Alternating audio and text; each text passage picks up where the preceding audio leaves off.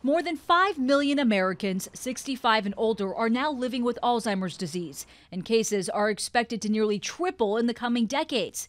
That's according to a new report from the Alzheimer's Association, which also shows many doctors don't feel the system is ready to handle the growing numbers.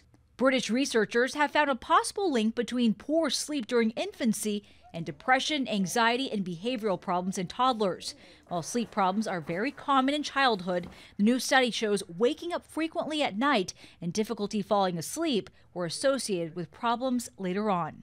And a new study in Britain finds young people who have tried e cigarettes but never smoked before are nearly five times more likely to go on to try traditional cigarettes. However, researchers say more study is needed to determine if e cigarettes actually cause young people to start smoking.